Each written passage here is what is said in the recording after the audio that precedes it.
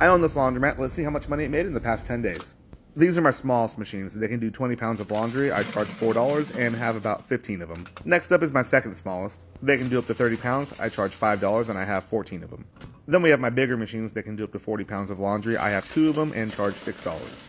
And then last but not least, we have the big kahunas. They can do up to 60 pounds of laundry. I charge 750 and people love them. My dryers are all the same. They can do up to 30 pounds of laundry and I have 14 double stacks for a total of 28 dryers. After I'm done with the quarters, I go in for the cash. Here's the first one. And then here's the second one. A little smaller because I had to make change for the register. And that's what 10 days worth of cash looks like. Now let's check out the vending machines. I buy each box for 50 to 60 cents each and sell them for $1.25. This machine is by far my best seller. I order everything online and my manager stocks it, so it's pretty passive. Can't beat it. When I'm done with this one, it's time to check out the pop machine. I buy each can for 50 to 60 cents each and sell them for a dollar, with the exception of water, which I get for about 20 cents each. Here's the cash, and then down low we have the quarters. The quarters don't look too hot, but the cash is pretty decent because it's been getting warmer lately. And then on to the snack machine. It was pretty empty for a while, so I'm not expecting too much on this one. Here's the cash, which is pretty pitiful.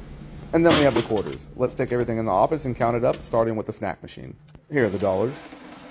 Came out to 41, and then we have the quarters. I weigh them. It comes out to $20 per pound, minus the bucket. I'll add everything together and show you what it came out to at the end. Here's the cash from the pop machine. This time it came out to $73, which is pretty damn good. And then here are the quarters. And then last but definitely not least, we have the soap machine money. Came out to about $200. And then finally, we have the washers and dryers that came in at around 2900 Now let's count up all the cash that we got from the change machine and see how much it came out to. My laundromat also accepts debit and credit, so I'll be adding those numbers to the total at the very end. At my laundromat, we also have a wash and fold service where we do people's laundry for them and charge them by the pound.